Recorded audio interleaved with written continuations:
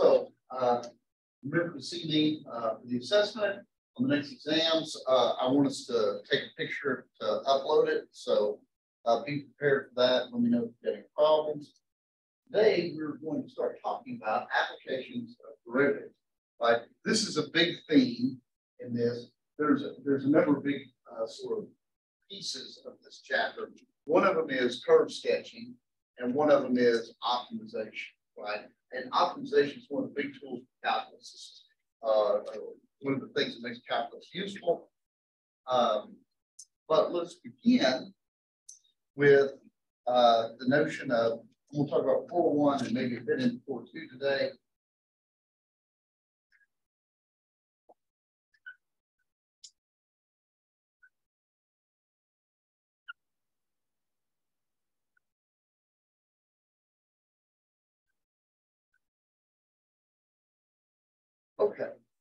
Let me just start off with that definition here. And then we'll talk about it. Means. Let F be defined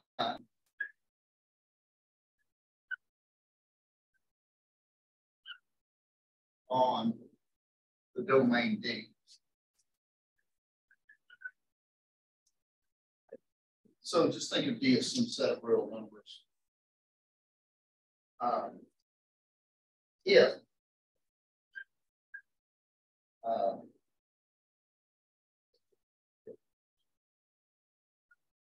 of C greater than or equal to F of X, call it X D. Then uh,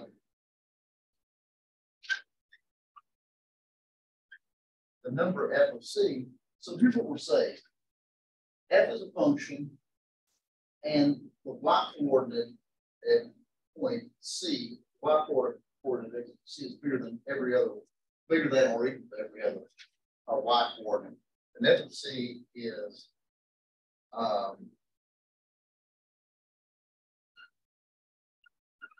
absolute maximum.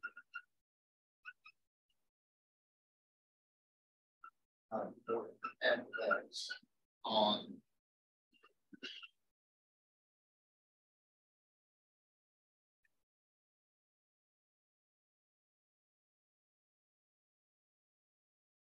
if f of c is less than or equal to f of x for all x,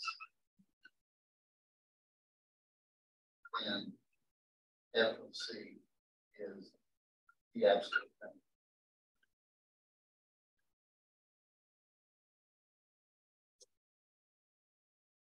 For f of x. collectively, um, absolute max min values for two pairs.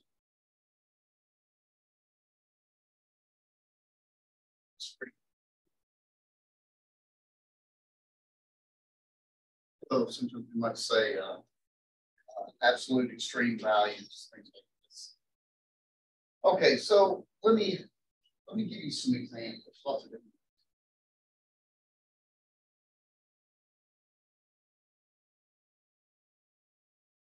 Can anybody think of a function that has an absolute maximum or an absolute minimum?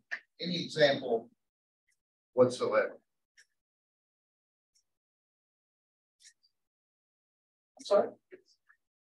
Oh, that's a good example. Uh, uh, and I really like this example for following reason. Um, um,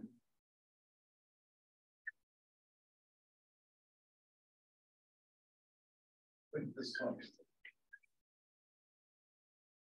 Does that have an absolute maximum, absolute minimum, both, neither?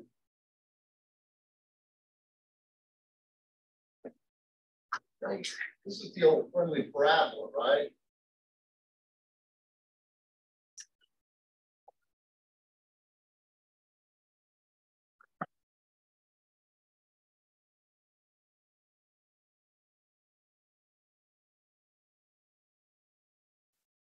the y coordinate is zero right here, and it's uh, ever less than right? So notice that the y value here is less than or equal to Okay, can somebody uh can somebody think of a function that has no absolute extreme?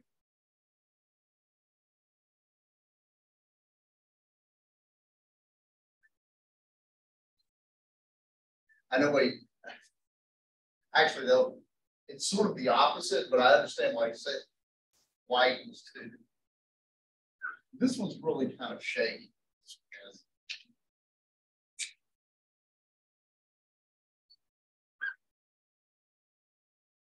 Does this have an absolute maximum? Does it have an absolute minimum? In fact, this is how stupid this function is. Every point is both an absolute maximum and an absolute minimum. Everything is. And it's because it's less than 40. So every point on this horizontal line is an absolute maximum and absolute minimum. Now, can you change this example a little bit so that there's no absolute maximum, absolute minimum? There you go. Just just bend this a little bit. If you have something like this, no, and this one every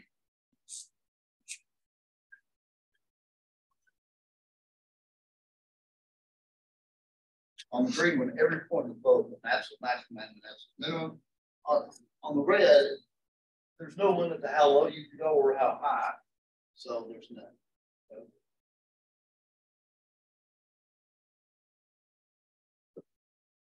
How about this?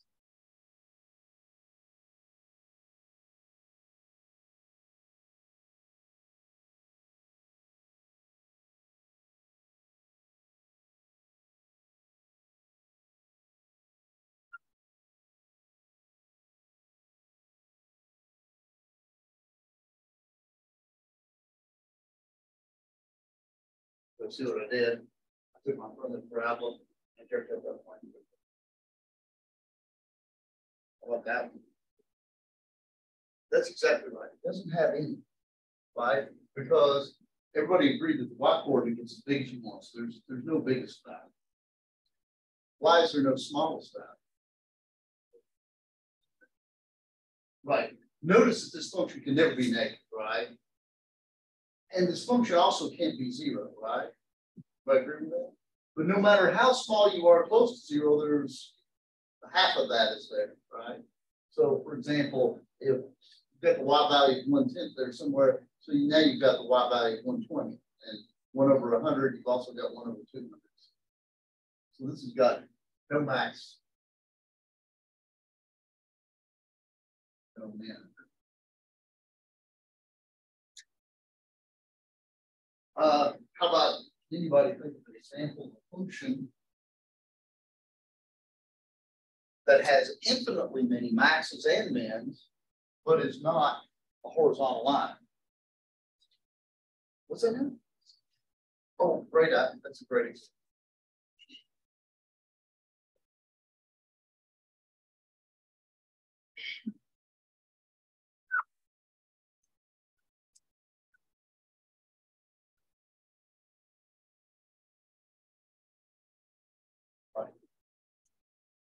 For this one, we have absolute max. One, because that's the biggest sign in neighborhood. The absolute min negative one. These both occur infinitely often.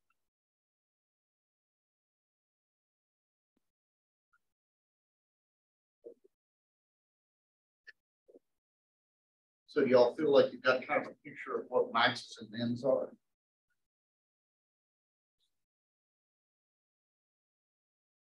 Now,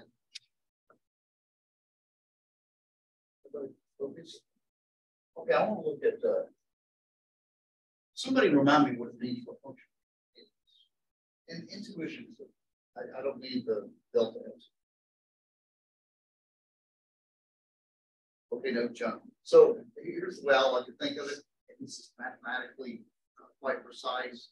And so important. But I'm going to lie between what I never really said to you, but intuitively, for a lot of functions, continuous means you can big enough. Okay, so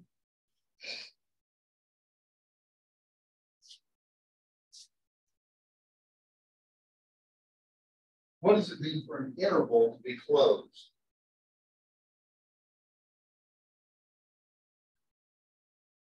That's right. A closed interval is just like you all know what an interval is, but It's just everything that takes you numbers.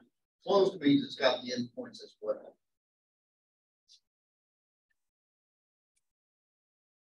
Okay, so let me do a couple. Here is a function on an open interval. Actually.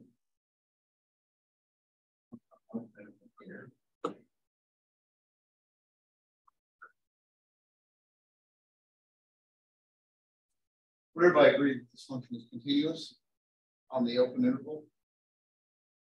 Does it have a maximum? No, or a minimum. Okay, so this is a this is function is continuous. Open interval. No max. No. Now, let me point out that you certainly could have a max. What if we had this?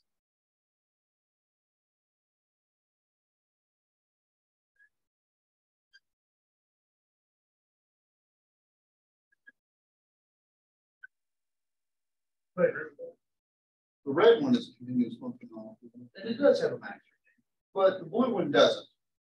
Okay.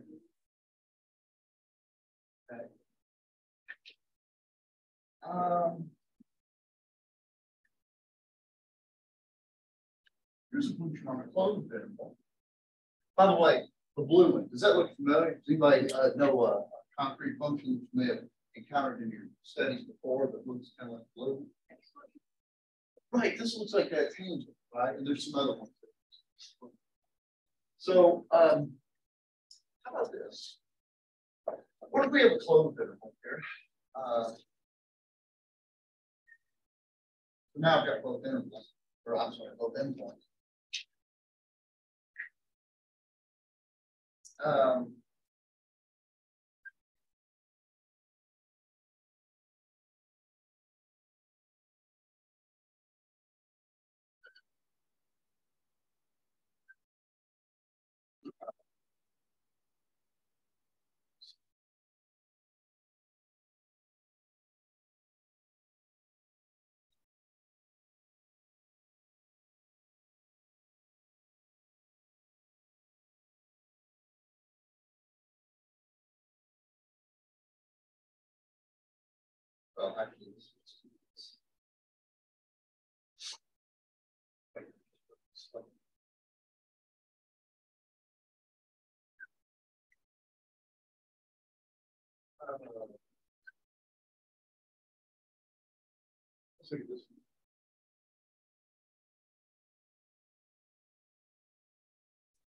this is a function on a closed interval?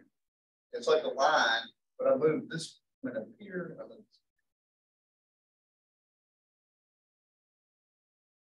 This function is on a closed interval.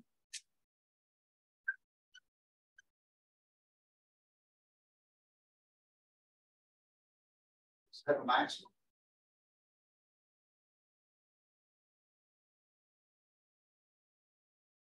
Not a maximum, right? Because where is it? No matter what point you pick up here, you go just a little bit higher.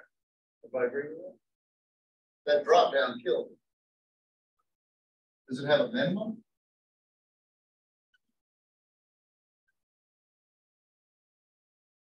There's no minimum, right? Because no matter how low you go, you go a little bit lower.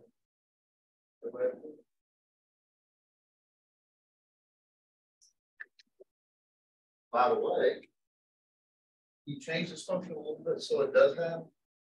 Well, can you change it so it's got a minimum and no max? How could you do that?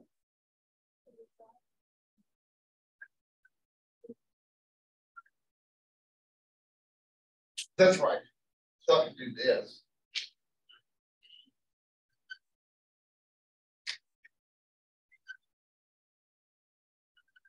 What she's saying is move the dot down here, right? Or I can even go lower. Want. Now, would everybody agree this has a min, but no max?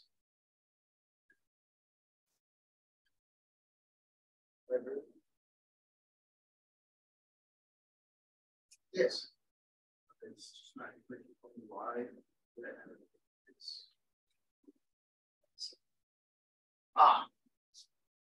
This is clearly the min because this is the absolute lowest block coordinate that this red function ever has, right? Are you okay with that? So you're so you're saying I get it when you say absolutely minimum, which is why I can't do this. But why couldn't that side? Why couldn't it be? You're not claiming it's absolute. Well, uh, well, when I say min, I mean absolute. That's, that's what I mean. And I'm going to talk about the difference. Well, that's not. But were you guys okay with this? Y quarter here is as low as it goes. Yes. Sir. So like if the if the other dot was above the function, it would have a max, right? That's right. If it was here or higher, it would have a max. Absolutely. Right, okay.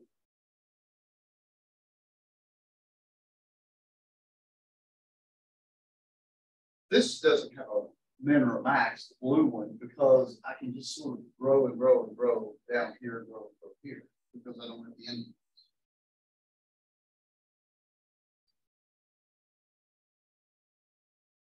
This one, I seem to have got no max and mins because I cheated, right? I broke the function. Right, I pulled it in. Now,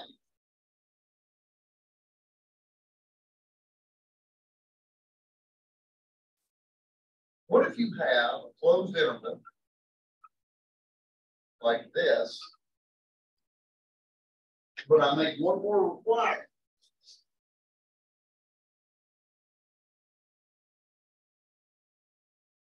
I'll have a continuous function on a closed interval. So it doesn't matter really where I put my dot. Here and here. Now I've got to connect these two dots somehow. So it's it's almost the same as starting here, except I've got a new rule. I have to connect from this dot to this dot by drawing something red marker without lifting it up. I can't do that here. Right? I can't make this pictures. Right? Because to do this, I have to jump. Agreed?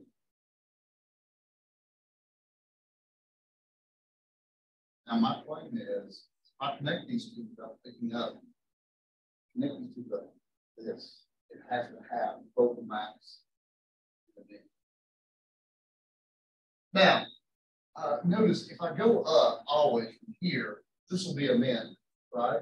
So I'm going to try to avoid this being a min going down. So now it's not a min. But up, up, this is going to be a min, so now I've got to go lower. Up now this is going to be a min, so I've got to go lower. Oh crap! I've got to get back here at some point.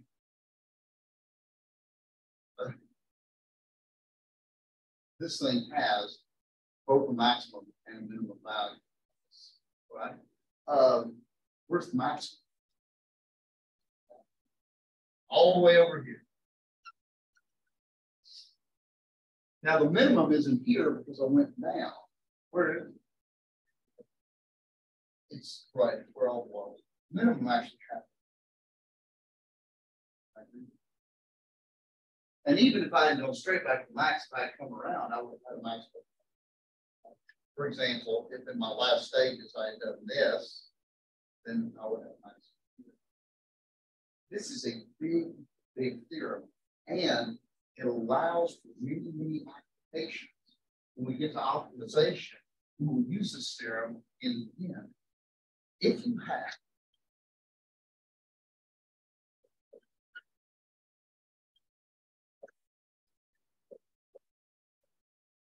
suppose x is uh, a continuous function.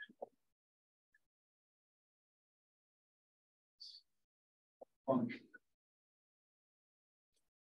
On closed in payment. Then, that, attains its maximum and minimum values on.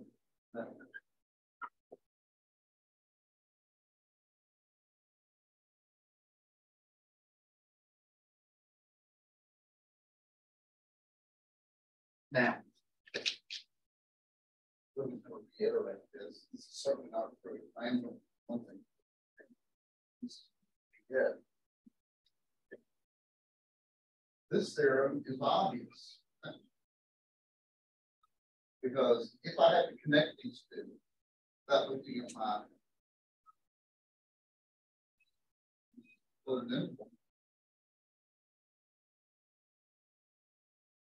Then. If the maximum is not here, not here, if I never turn around, some point in here.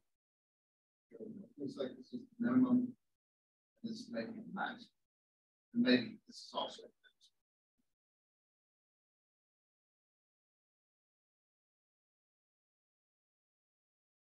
How many of you it seem intuitively obvious? Right, if I can connect this, then what happens is if this isn't a, a maximum or a minimum, but at some point I gotta turn around, where I turn around, I get a minimum, right? At my lowest turn. Seems obvious, right? This is actually a deep theorem and is beyond the scope of what we can do right here. It requires some subtle thought. Even though it's intuitively obvious, But we'll just. This allows us actually to all kinds of. Uh, For example.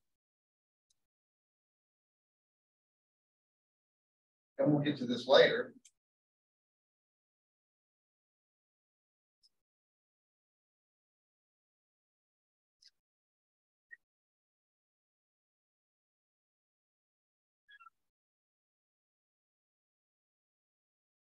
Suppose I put a cone inside a sphere, right? So notice I can make this cone all kinds of things. I can make it a tall skinny cone. Or I can make it a shorter fat cone. For what value of, uh, well, what is the largest percentage of the volume of the sphere that's coming to take? This is a problem we might want to know if we need volumes or something like this. This theorem says that we can find this answer. Because as you change the parameters of the cone, what you have is a continuous function on the. You have to have a maximum and a minimum value. By the way, what's the to minimum value of volume of the side variables?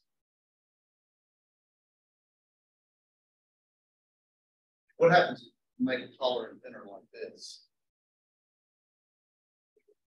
Close to zero, right? Because eventually you're gonna have a. It'll be kind of full, full.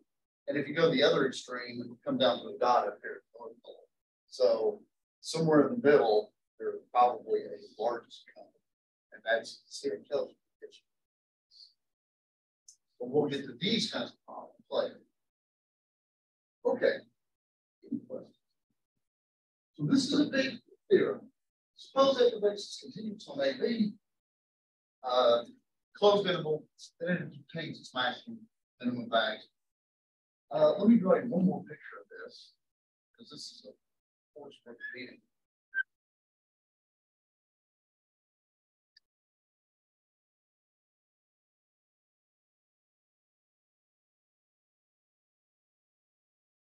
Now, let's get, ask ourselves, so, okay, this thing can its maximum minimum values, this happen?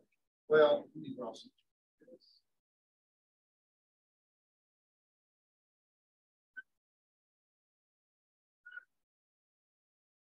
Here's a continuous. function. Where does it look like the minimum is? Minimum.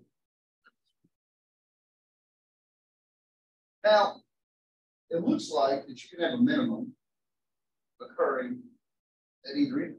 Another good example of this is if you have this one here. Everybody agree the minimum occurs left and the maximum occurs right. So it looks like a lot of times minimum can occur whatever the input. But sometimes, like here, you might have one of the extreme uh, occur inside. Right? This certainly doesn't happen. You need to put your eyeballs on it. What happens at that?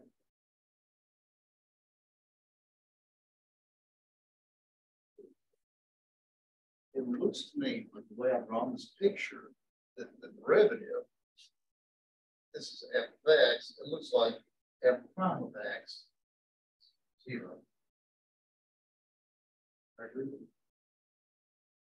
Because what has to happen for you to have an interior max? You have to be at the top of the mountain. It looks like slope of ten lines here, or you need to be at the bottom. Valley, like a, a U, right? Slope of ten zero. Unfortunately, slope of the ten doesn't always have to be zero. There's a weird exception. Anybody know what that is?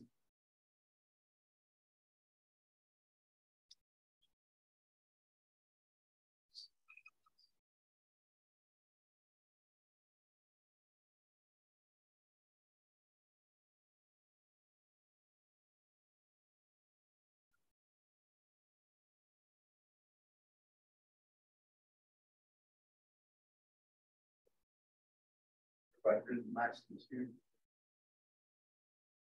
What does that slope of tangent Zero? No, it doesn't. But what is true about that problem here?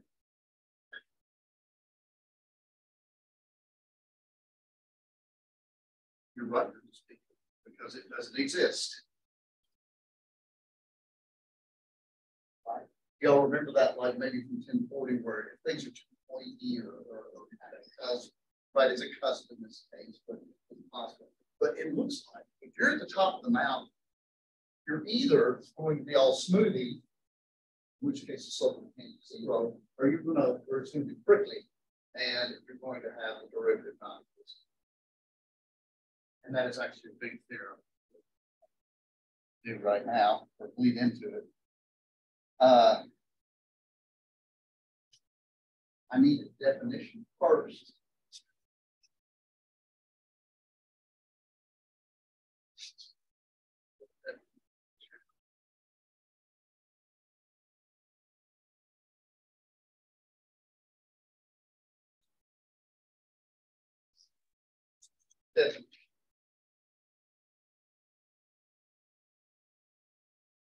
uh, let f of x uh,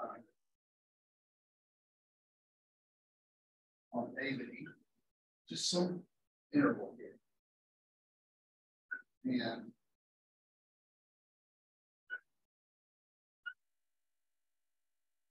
and what I mean by this is C is a point that is interior to the center, right? I don't want it to be an end.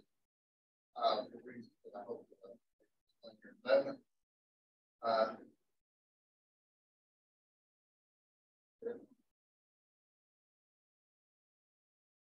uh, we're coming to that. What I'm what I'm going to do now is find what I call local max and local min. Uh, yeah, F of C is uh, greater than or equal to of X.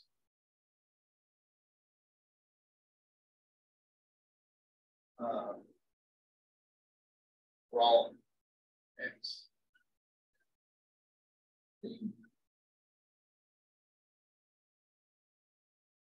Then F of C is a local relative.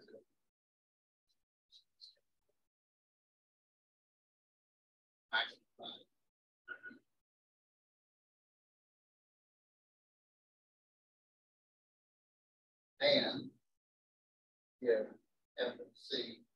Is less than as B, then FC is a local minimum.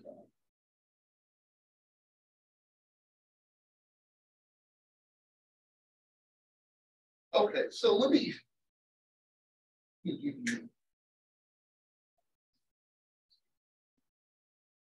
process so for you.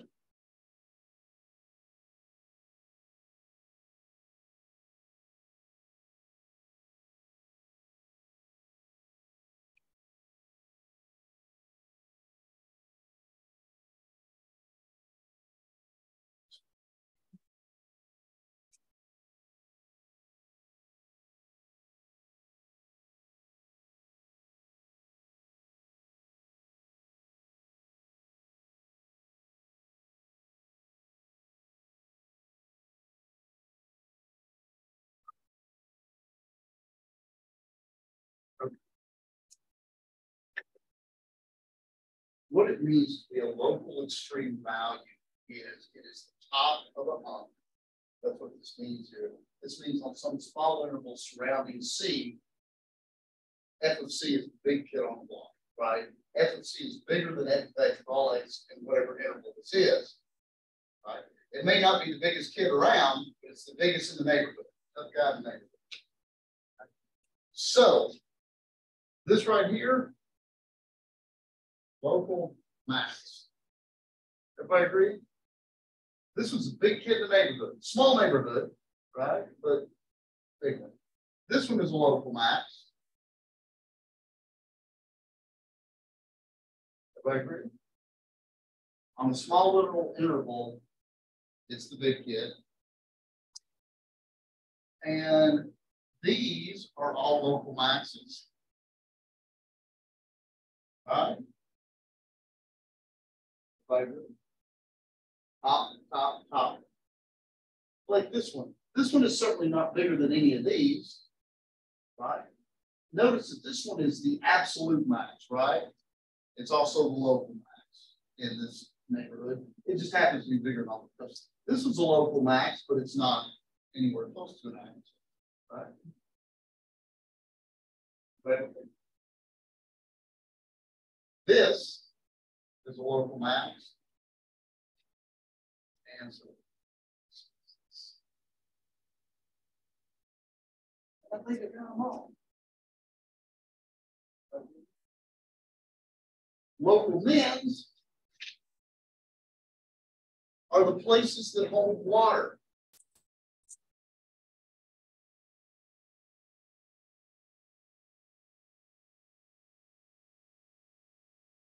Local min here. There's one here. Right? Littlest kid in the neighborhood. Right there. Right there. Right there. Right there.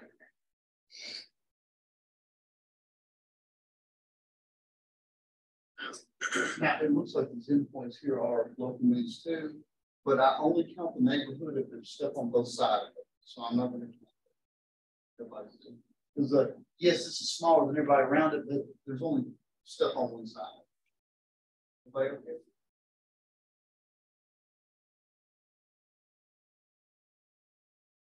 So here's kind of a funny, this is kind of interesting thing. This this is one of the things that's different about one variable calculus does everybody feel like they understand what local man is? Biggest or smallest in the neighborhood? Uh, notice this is the absolute max, and this is the, I guess this is probably the absolute. And they both turn out to be local men's. You could have the absolute max at an input, right? Which wouldn't be local. Let me ask you this. Between any two local maxes, what do you see here?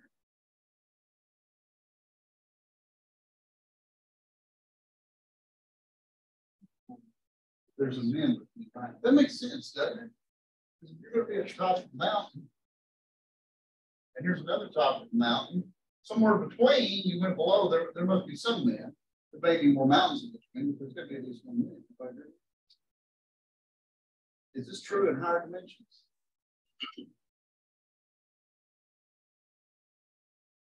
How many of you, uh, how many of you watched the? All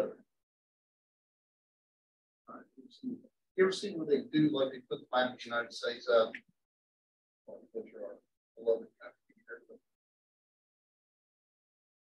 So they do the weather maps here. Ever seen a weather map look like this, a little low pressure system? And then one next to it? This. And there's no high pressure system in between. So explain to me another example why that happens.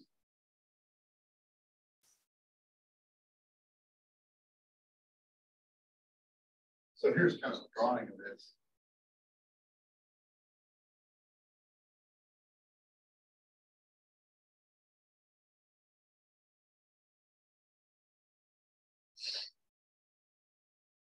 If you have two mountains, you don't have to have a place to hold water between. them. Notice at the top of the mountain, water all flows off. Do I agree with that? Does that mean that there has to be a place in between there that's a lake? Not necessarily, this could just be a bridge. This looks like one of those camelbacks, right? One to two months, right? So you can sit in there, right? This is like kind of like a crotch. Notice that this is a maximum, a maximum. But there's no minimum in between, because at this point, it doesn't hold water, right? Water flows from the mountain down to this point, but then it flows off the other side.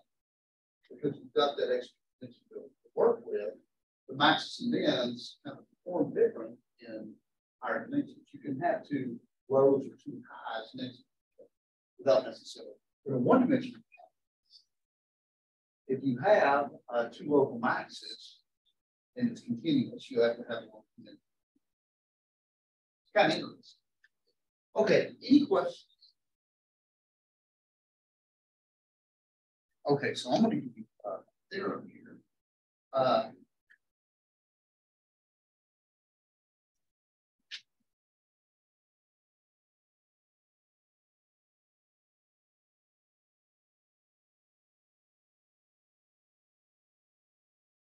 theorem.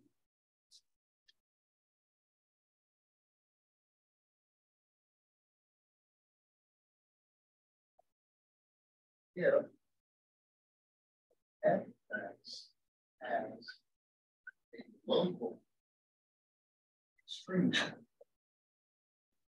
Oh, what is it? Latin there. F of is a local extreme. At C F C and F prime of C exists. Then F prime C. Actually, looking at this blue function picture might help. Look at the local extreme right here at some point, at some of these local extrema, like here, here, here, the derivative, is some local extrema, they don't. What is true at all the local extrema where they exist? This is our smooth top of the mountain. And actually, I think I can use this picture to help me show why this is true.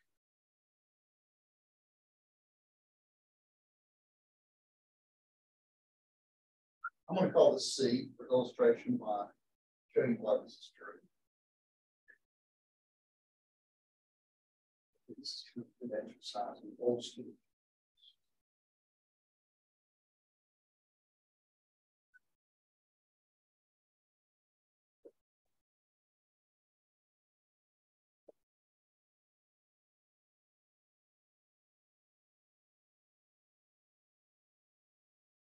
Everybody agree that's what that is. Okay. This is the limit, H goes to zero, right? So H is like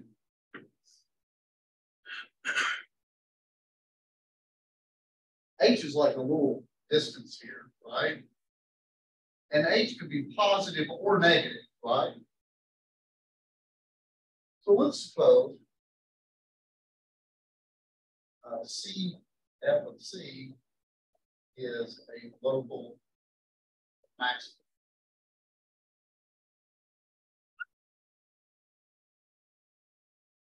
Actually, it's a local minimum, the proof is almost exactly the same. And I'll let you fill in that detail. I'll only prove it from top of a mountain and I'll let you figure out what it's like at the bottom of the valley. Okay, let's suppose this is a local maximum. Let's look at this limit.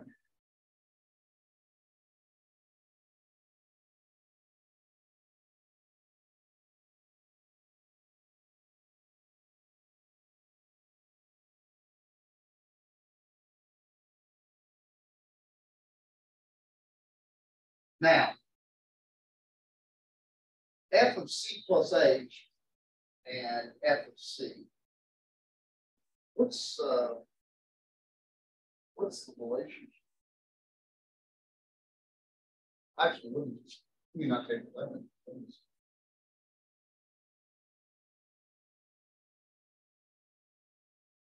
So consider this. Consider the same. I'm going to take limit if H is positive, then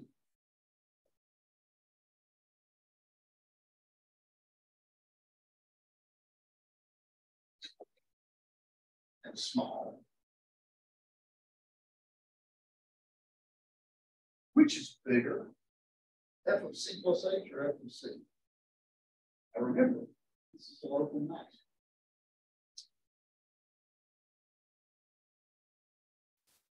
Look at my picture here. F of C is the red top, right? Everybody agree?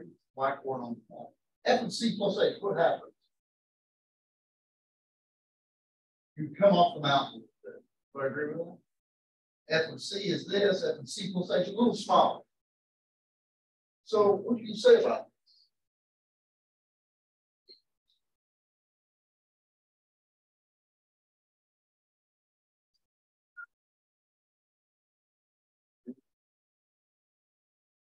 So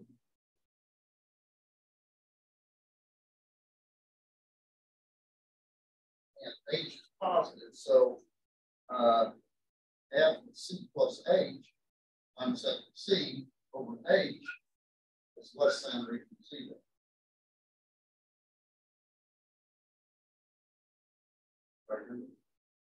Because that's a negative divided by positive. It's still negative.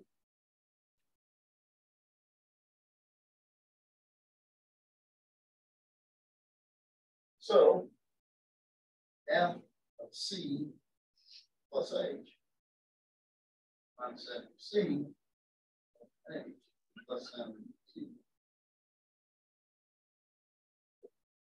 On the other hand, if h is less than zero and absolute h is small,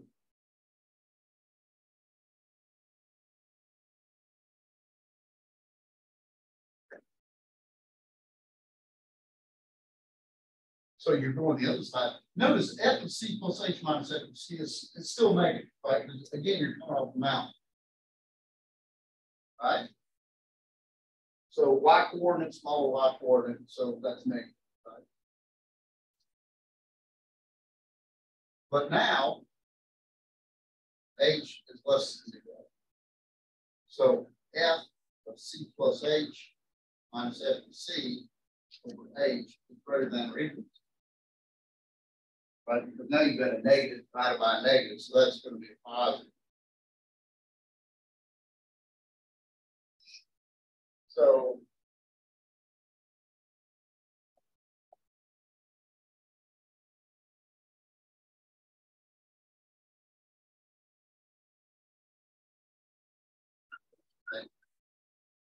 So that's the limit, say you go to zero, positive side of f of plus h minus f c. This positive side is less than zero. Because you have a limit of numbers that are less than. or equal to That, now, if you come to the other side, you have a limit of numbers that are positive.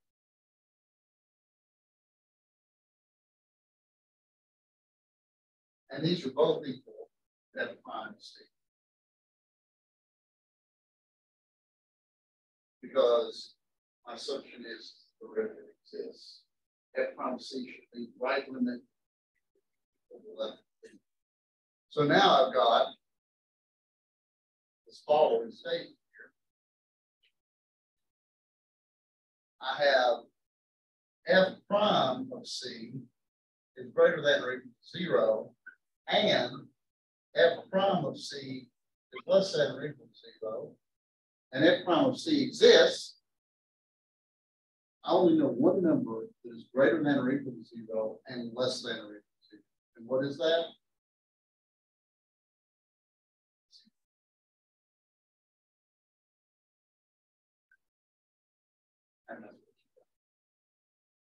So that's formally why if the derivative exists, it has to be zero. Okay, so let me, let me, uh, give you a couple of spin-offs of this and then let's look at some examples.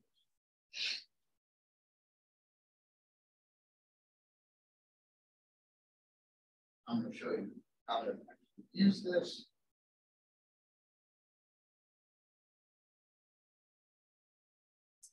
Corollary.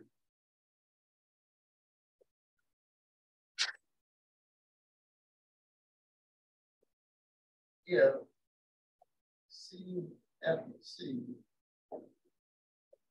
Is uh, local. Extreme point, then F prime C equals zero or constant.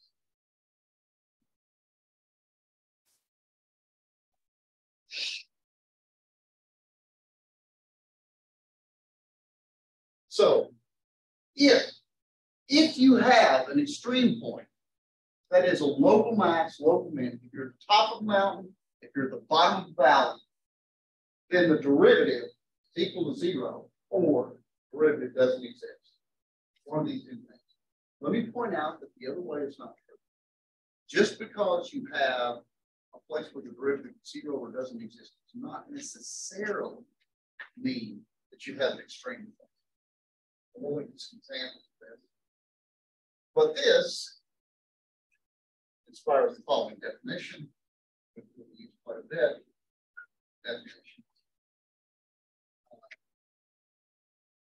That fx the function and c a number in the domain fx. Uh, for my definition here, what I mean is f is some function and c is just some number that you can plug into f. It just it's in the domain.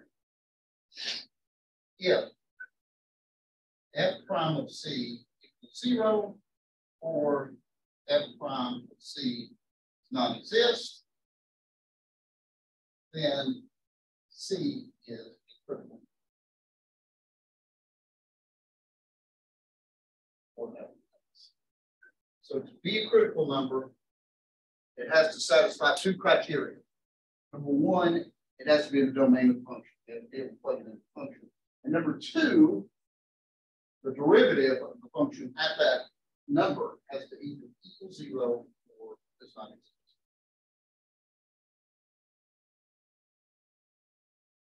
So let me give you uh, an example.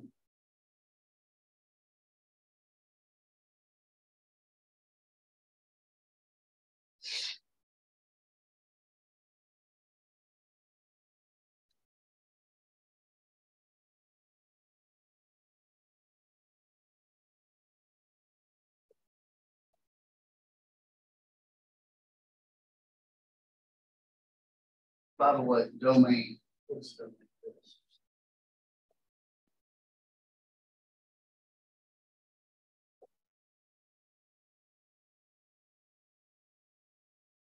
What numbers?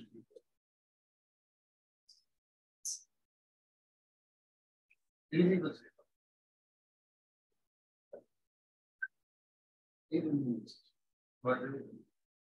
Let's find the first.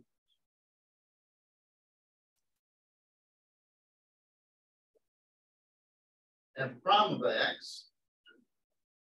Well, this is x to the minus one power. So minus x to the minus two.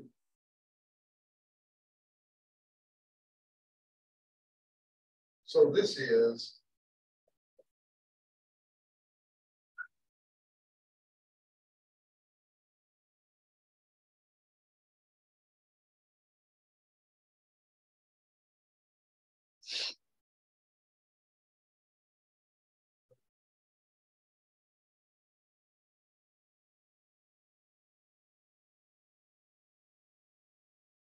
So the critical numbers.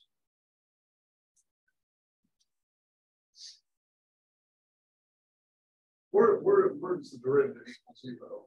You know, that tell me pretty quick.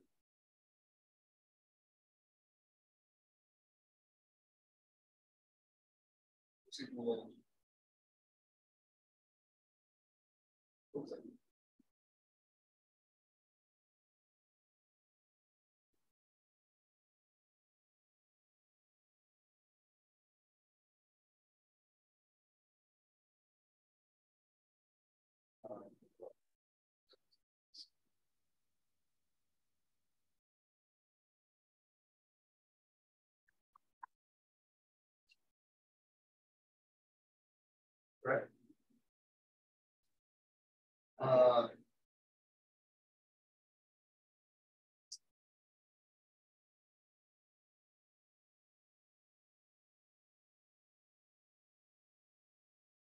And notice that x equals zero, derivative that exists. Everybody agree with that? Is zero a critical number?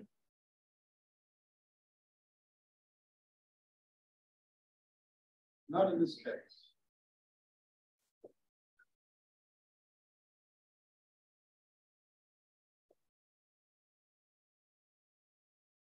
Not in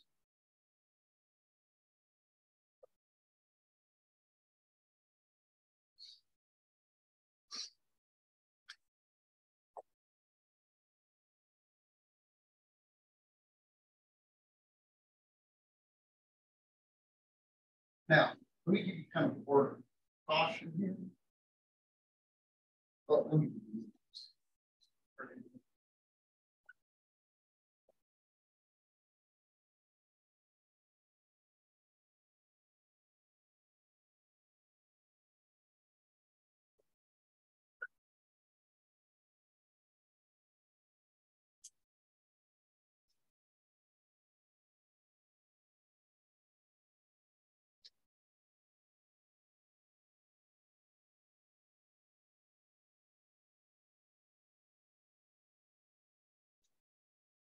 What's the domain of this?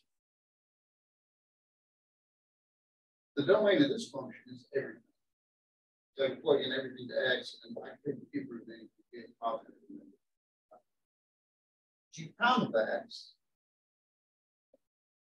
one third X minus two thirds.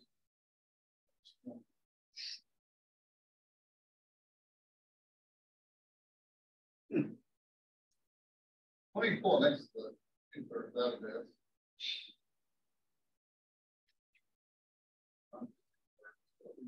One third plus X. to the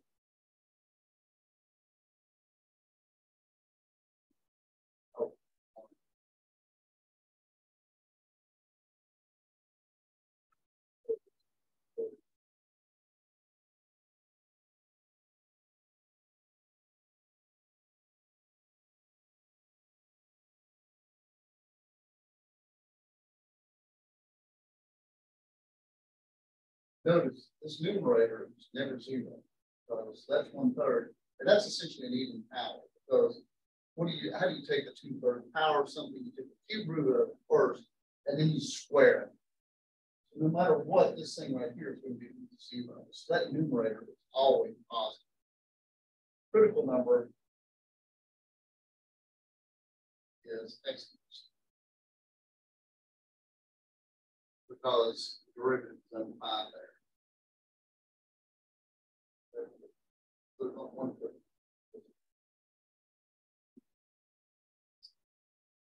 Okay, let me point out that if you have a critical number, you may not have a local spring. Here's an example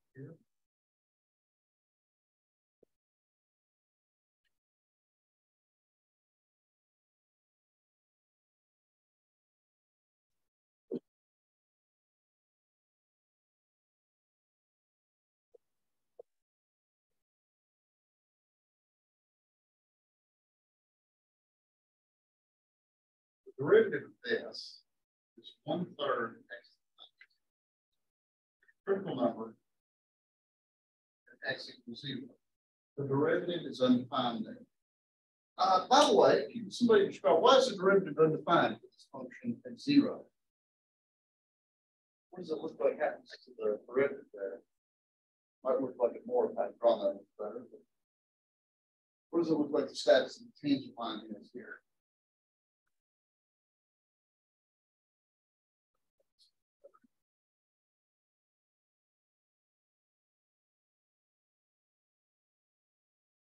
What does it look like? The tangent line is right there.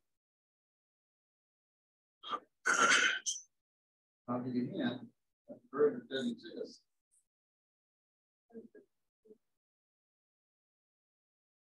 Looks to me like the tangent line is actually part of it. It's kind of a Zero. Notice this function passed, this function's always increased.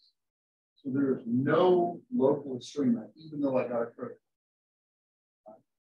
Uh, here's another, one. and, and actually it's very intimately related to this.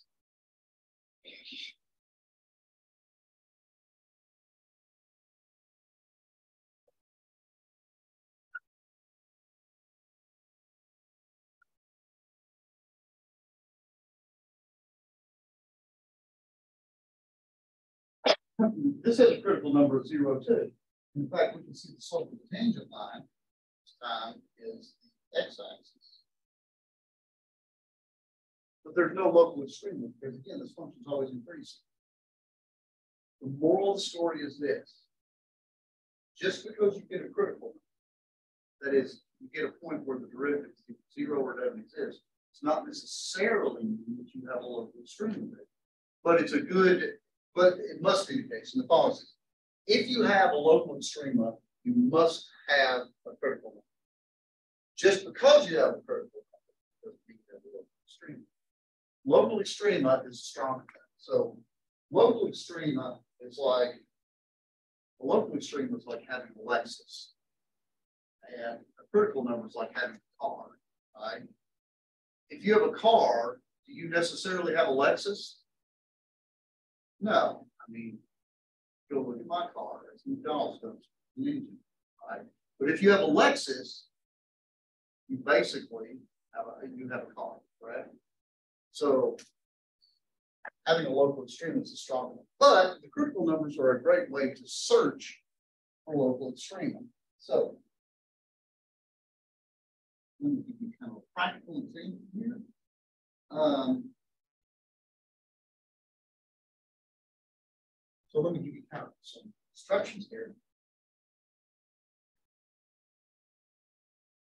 In fact, maybe you will help me figure this out.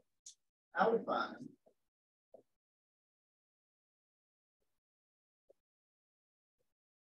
uh, max min values of a continuous function.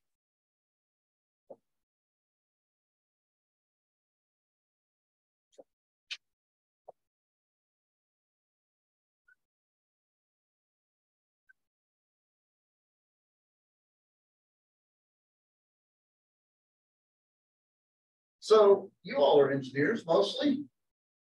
Let's see if we can put together a practical way to figure out how to algorithmically find max and min value for continuous functional filter. I don't want to use this picture.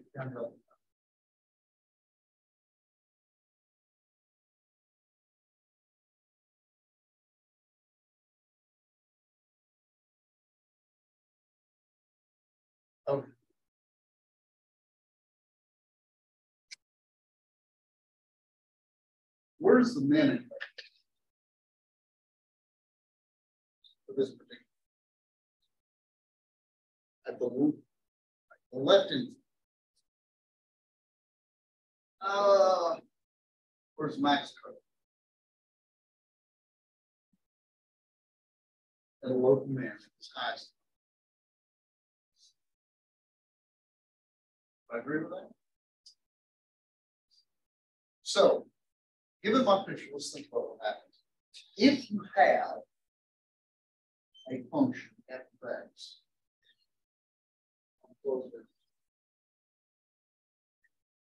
where are the possibilities that maximum would be?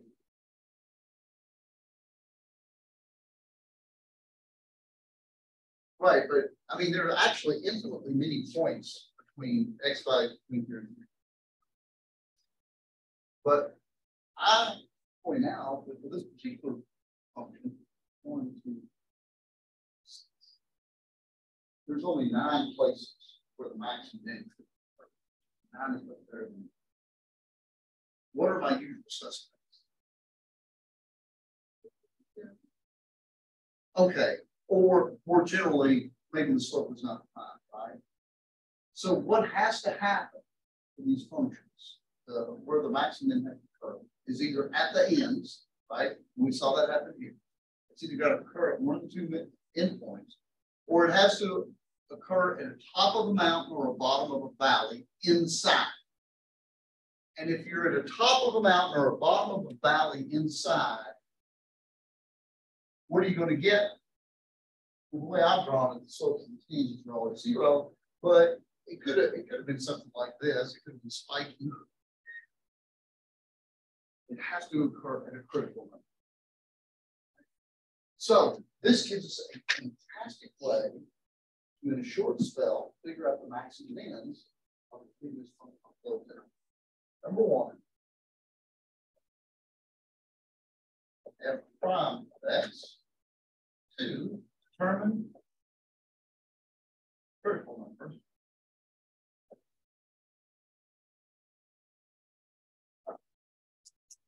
f prime c equals zero or f prime c not exist. Do not forget about the do not does not exist. In fact, in high school courses, I think often I think I skip over this a little bit. So take the derivative. Okay, that's old school for us. Gather up all the critical numbers. So now we've got our usual sus suspects. So for this picture, uh, we've gathered up the critical numbers, one, two, three, four, five, six, seven critical numbers. We've got two of them. Suspects, what are they? And the endpoints.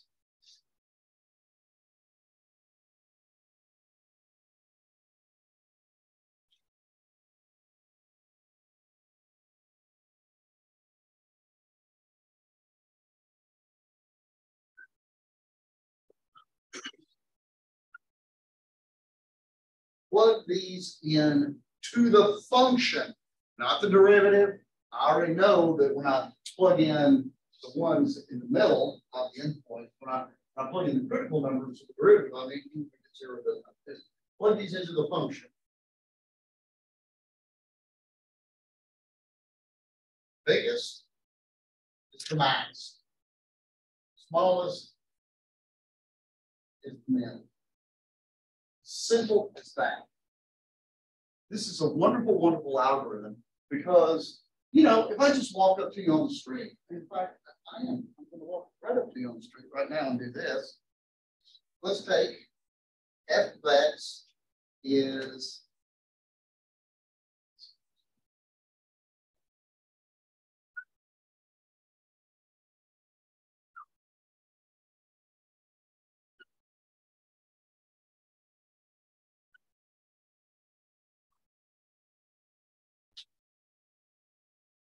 Uh, no, all the. Yeah.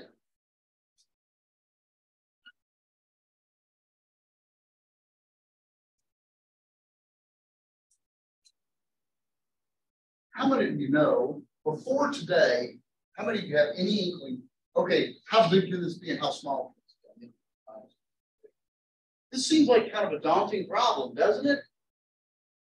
But the fact of the matter is, now if we know this theorem about continuous functions.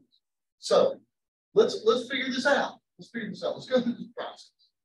Um, f of x is x to the four thirds plus four x to the one third. And you know what? I'm going to do this. This is again, I, I told you earlier in the course, don't simplify anything. Unless there's something for you. There is something in it for me a little bit here.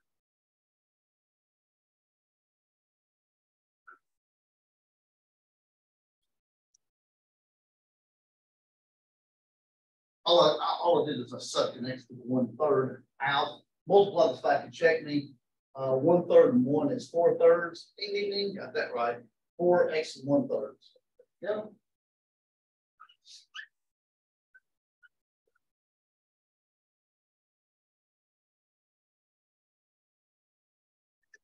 The reason I did this is because it's easier to plug in values for this because I'm not going to use calculator.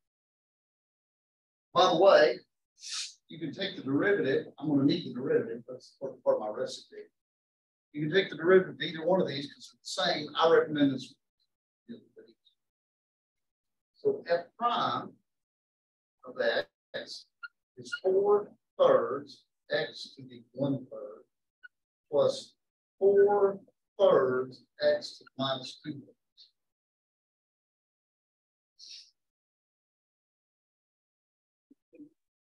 straight up.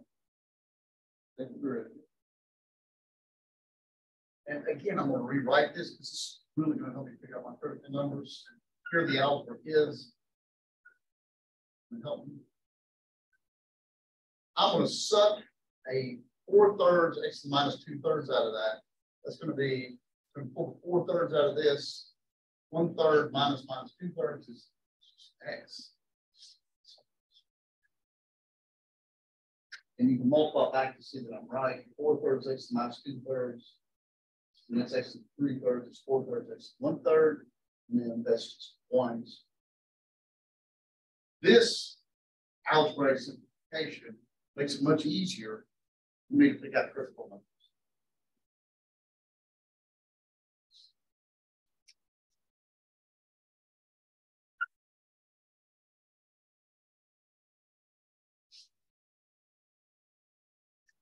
X equals what?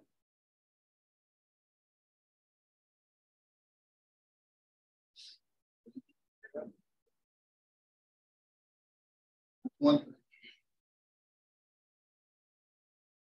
And in fact, maybe better.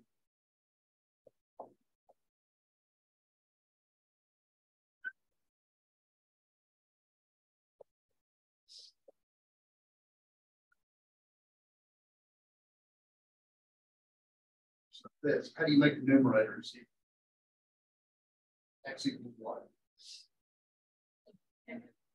Numerator, right, negative one. How do you make the denominators here? There's your two correct. Everybody okay What are my other suspects? The endpoints, right?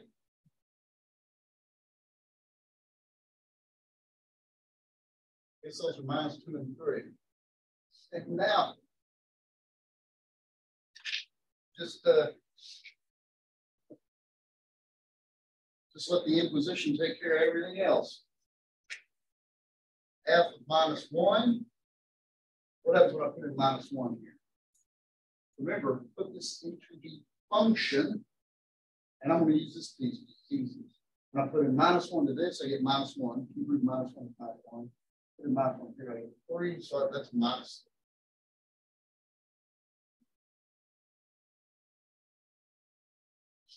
Zero is zero. That was easy.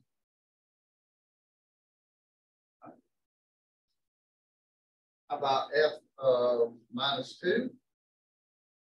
When I put in minus 2 here, I'm going to get minus cube root of 2 times 2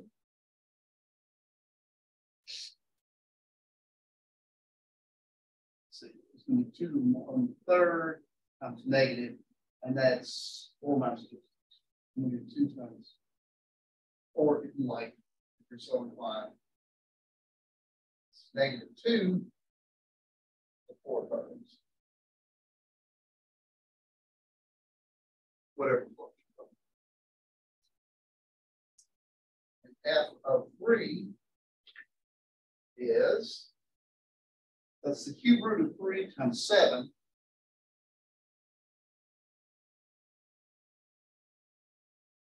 Okay.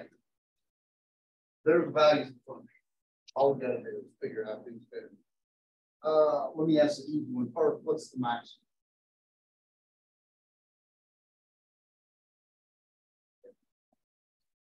Which one? That is correct.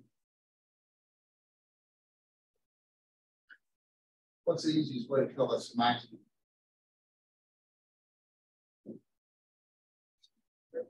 It's the only one that's positive, right? The rest of them are zero or negative.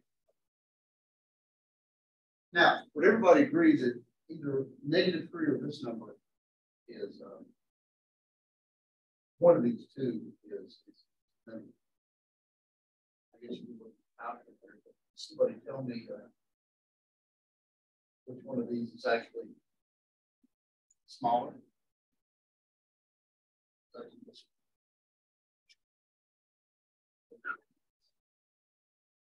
What's that? Right, but then you got to take cube root of that. Okay? So think about it this way. So this is what it boils down to. Which one of these two numbers is bigger, right? Think about it this way. What happens when you cube this? What do you get? And the reason I say cube it is because I want to get rid of that stupid. If I cube this, what do I get?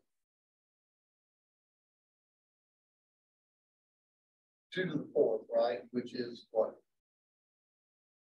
16. Yeah, two to the fourth. If I cube this, this will be two to the fourth, which is 16. Three.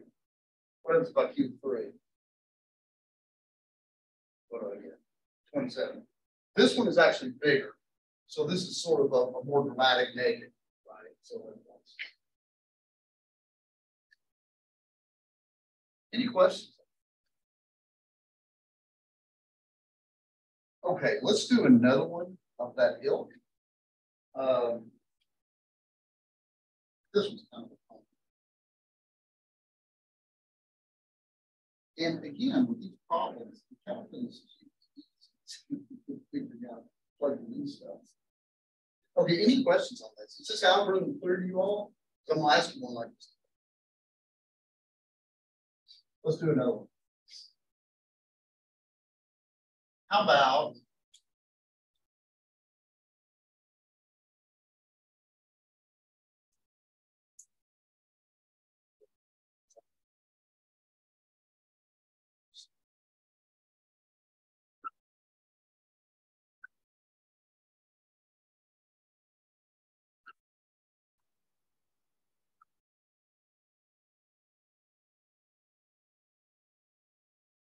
All right, I want to know what the absolute maximum, absolute minimum.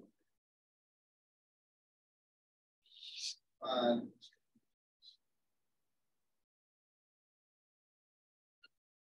and where they.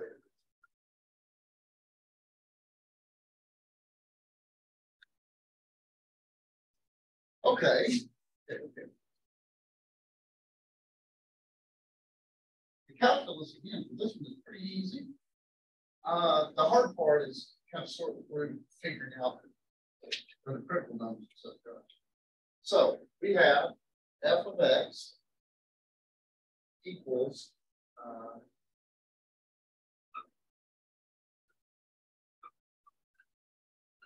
Okay, you guys got to help me out here. My derivatives and whatnot.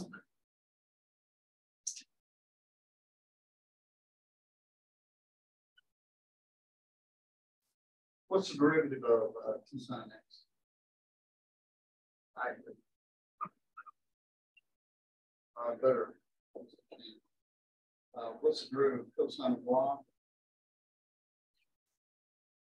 negative sine, Y.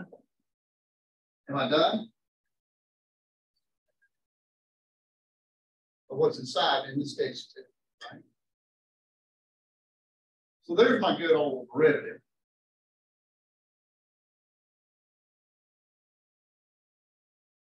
Now I've got to find places where the derivative is either zero or does not exist.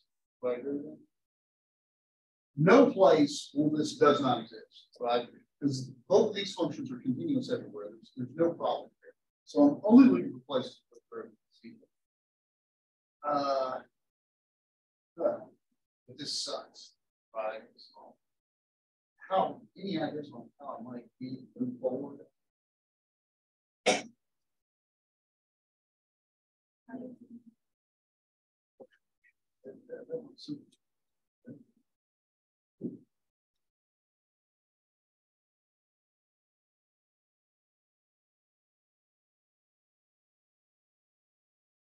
You know, one of the things that's really, what's one of the things about this is totally kind of That-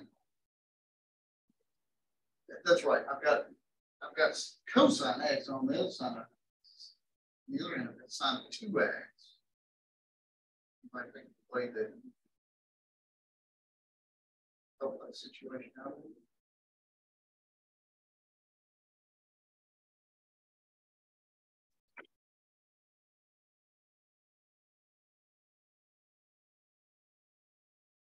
How about I trade that? Anybody remember sine of two x is? How many of you remember that there is such an animal out there? If you don't remember exactly what it is. Right, that's the important. I will give it, this is free. I will give, the only, the only trick I did, you should really remember the is equal to- But you need to remember how to use this. That's the old double angle thing, right? So, let's see what we got here.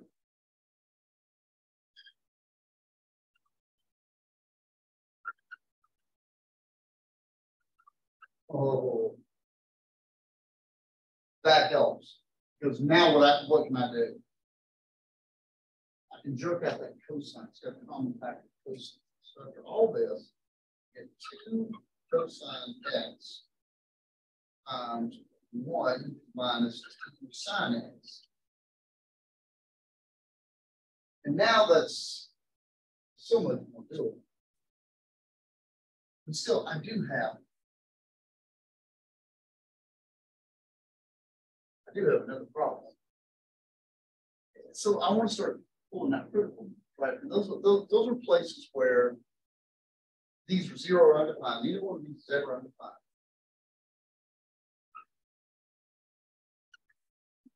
So either that's going to be zero or that's going to be zero, right? So let's find places where cosine is zero. And first thing that bothers me is this. How many places is the cosine equal to zero? That happens equally often. Uh, not things listen. I don't have to. That is correct. The important thing is these functions can have critical numbers all over the place. You only care about the ones that are in this range, right? I never remember this very well, so let me draw a circle here. Minus pi. Um, how many places is the cosine that's coordinate zero? Okay, right there and right there. So it looks like x equals uh, minus pi two and pi. Those are the only places between zero and pi. I'm sorry, between negative pi and pi, where. Everybody okay with that? Okay, maybe you guys can come with the other one. The other one is the other collection. Uh, this or sine x is one half. Where does that happen? It's all me. Pi.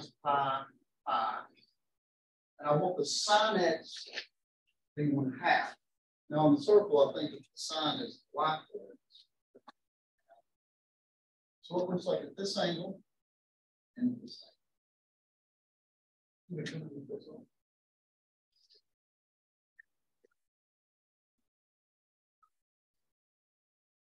Yeah, um, of six, of seven.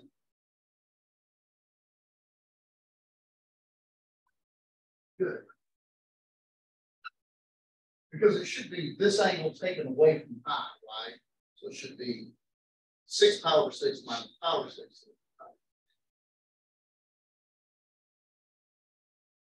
And the endpoints.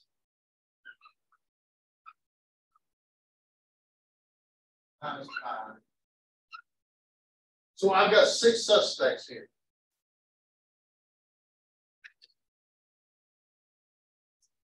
Let's go through it. Some of uh, these ones in the interrogation room here.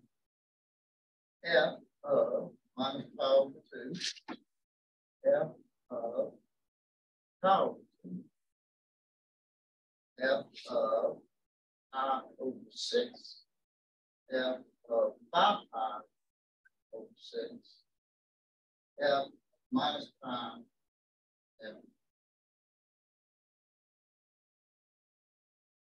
And let me recall for you, F of x was, was it, was 2 sine x was cosine 2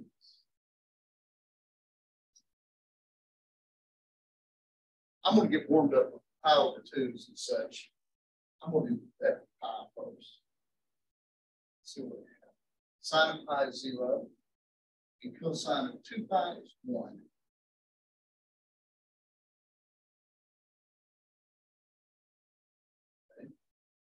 How about negative pi?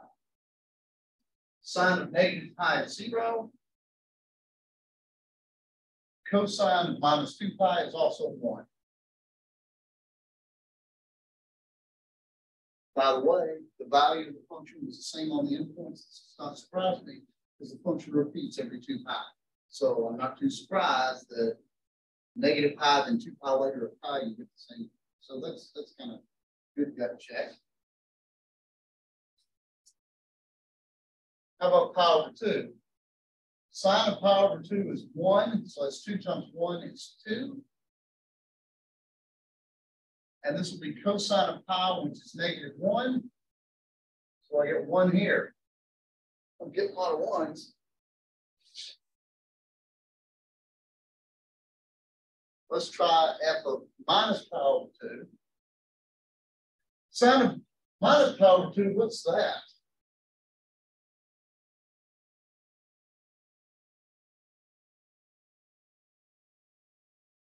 whiteboard their own circle.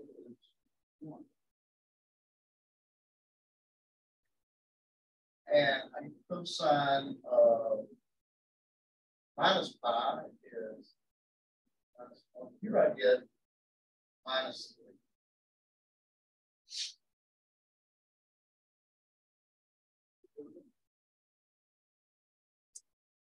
Now let's do the power of six business. The sine of pi over six is one half, as it should be, so it's two one half.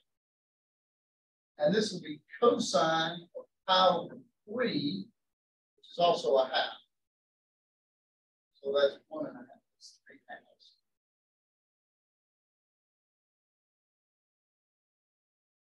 Five pi over six, sine five pi over six should also be one half.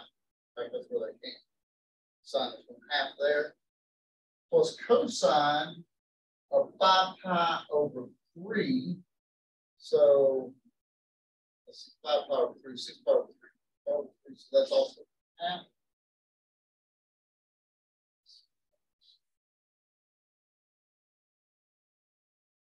So the minimum, so conclusion,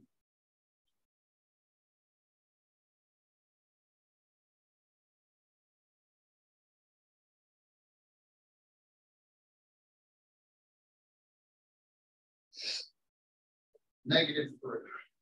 And it occurs at minus power percent. It occurs once in that range. The maximum, what's the maximum? Looks like it's uh three halves, right? And it occurs twice. It occurs at power six and five power six.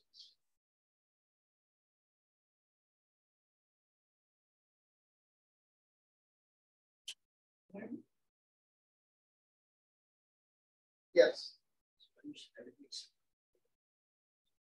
What we got what?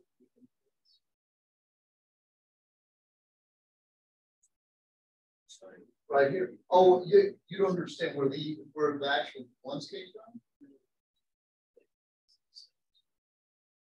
They were given in the problem. It's just part of the problem, right? Just find how big this is on the.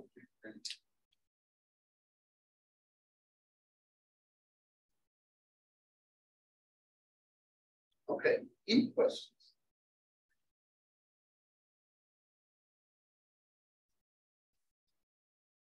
Okay, I'm gonna do one more theorem for you. Um, but everybody got what they need.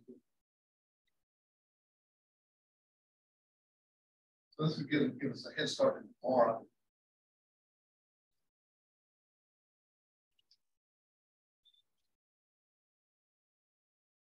Rolle's theorem. Intermediate, right? Mean by.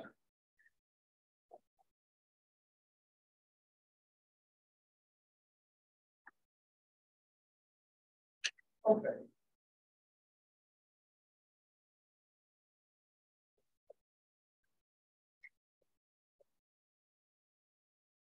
How many of you have heard Rolle's? Okay, I'm gonna, I'm gonna, I'm gonna show it to you here.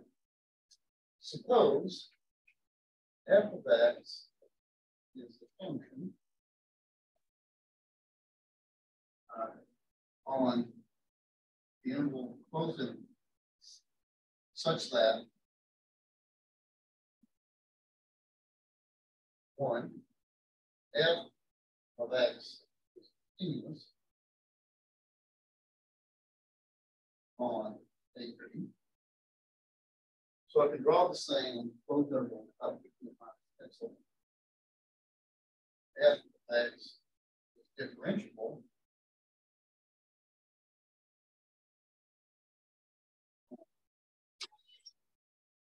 So everywhere inside of it, I can take the derivative. And three,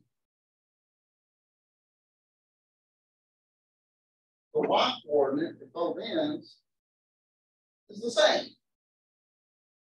Then there is a C in plane B with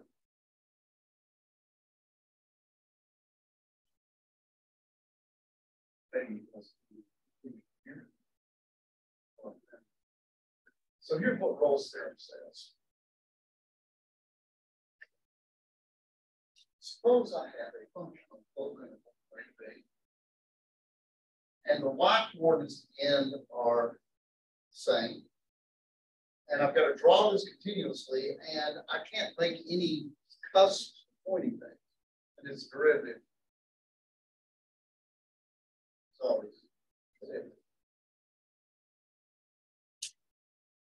then there's some place inside here where the derivative is. In fact, the way that I drew this, how many places do you see there is?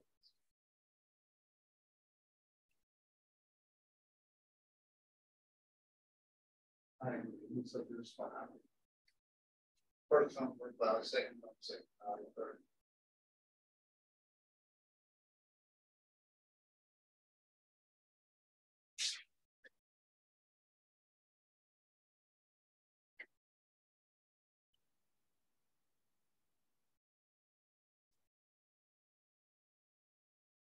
Now.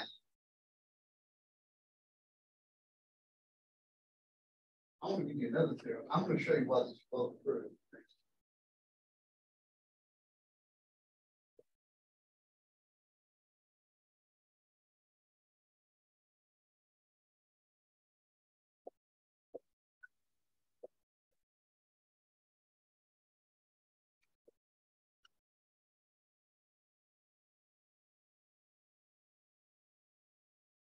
Suppose f of x is a function on a b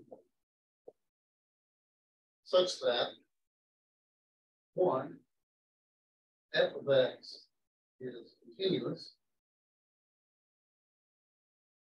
on a b and two f of x is differentiable. Um, I'm not going to assume that the y is the the same.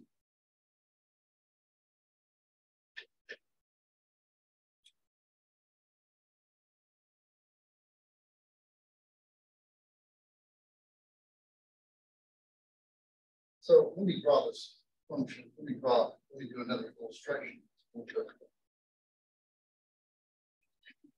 Deal.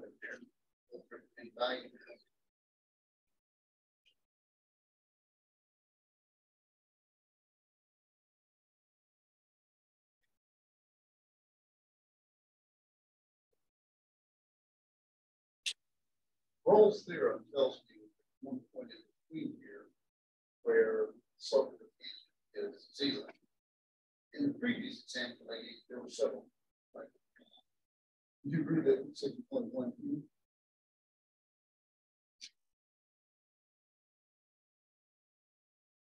Now, I found the assumption that two points at the same y coordinate is somewhat artificial, right? Continuous and differentiable, that's a natural assumption. Now, imagine this is uh, this is a handle, and I get this out and I'm it up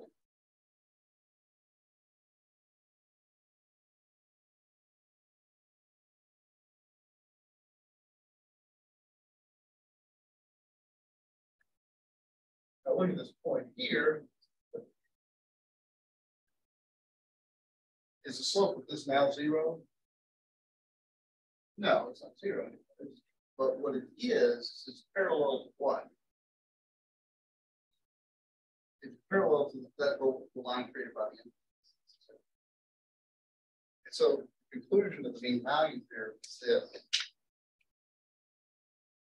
Then there is a C, a B, with F prime C, F B. So this theorem is basically Rolle's theorem, but almost literally a twist. That's what we did. We twisted this up. Notice this point is say B F B, and this is A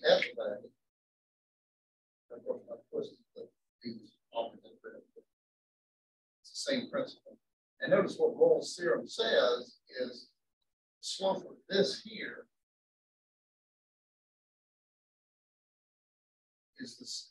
So what this Rolle's, uh, what the mean value theorem says, slope of this tangent line here is parallel to the dotted line that connects the The proof of Rolle's theorem is easy. And once you know that, and you know this twist, this might think about what is true and why we might care, because we're going to give some applications. Okay, any questions?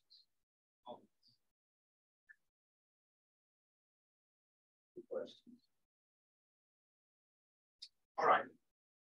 So, quiz now.